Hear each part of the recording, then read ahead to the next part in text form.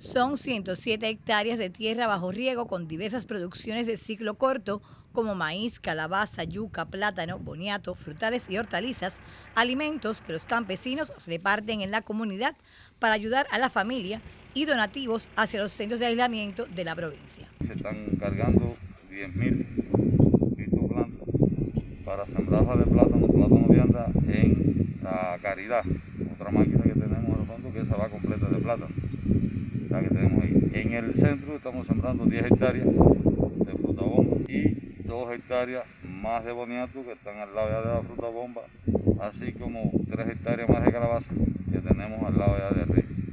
En la máquina La Martina y tenemos 8 hectáreas que se van a sembrar de guayaba en el centro.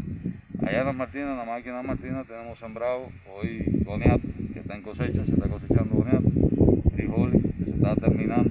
Tenemos allí 10 hectáreas de maíz más sembradas y tenemos 3 hectáreas de maíz al frente del lado de la guayaba. En el centro tenemos ahí el plátano ceilán, un plátano de fruta, muy acogido por la población, el plátano que tenemos ahí.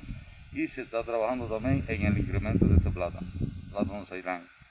En el centro tenemos la cubancita, al lado del taller, que se está preparando, tiene, que es para hortalizas, pepino, remolacha, eh, y zanahoria. Y lo otro estamos trabajando en la masa ganadera, en los modos pecuarios. Inmersos en la siembra de primavera, los cooperativistas de la Mártires de Barbados a la vez cosechan varios productos. Nosotros estamos cosechando boniato, con medio de 20 o 30 quintales.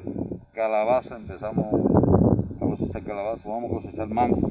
Mango, hemos cosechado mango, fruta bomba y plátano. Es el compromiso palpable de los campesinos cienfuegueros trabajar y producir cada vez más alimentos para el pueblo.